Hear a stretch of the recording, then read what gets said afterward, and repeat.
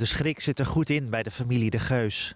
In de nacht van zaterdag op zondag brandde de werkbus, die geparkeerd stond tegen het bedrijfspand, volledig uit. Ik stond echt uh, te, te shaken, ja. Ik, stond echt, ik was, ben echt geschrokken, ja. De auto is de bedrijfsauto van Mark. Hij heeft een las- en constructiebedrijf. In zijn auto lagen al zijn gereedschappen. En uh, tekeningen voor een opdrachtgever. En ook uh, ja, wat malletjes en dat soort dingen. En hoe moet dat nou maandag? Ik uh, moet me beraden hoe ik, hoe ik dit moet, moet gaan oplossen. S'nachts rond kwart voor vier ging het mis.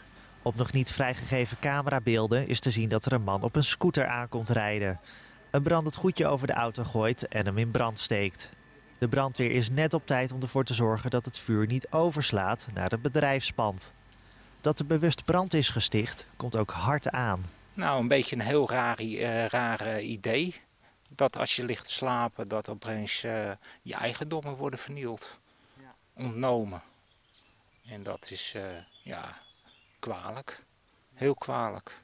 Ook voor vader Piet en moeder Jo komt de brandstichting hard aan. Ja, ja, ja. Kijk, kijk, ze pakken je kindje af. Uiteindelijk heb je jarenlang heb je daar aan gewerkt. Je onderhoud gedaan, alles gedaan. En dan zie je het resultaat. Vreselijk.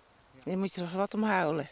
Je zegt, het was een auto waar hij zo verschrikkelijk trots mee was. En zo, dat paste hem zo goed en nou is dat weg. Dus dat, ik heb er geen woorden voor.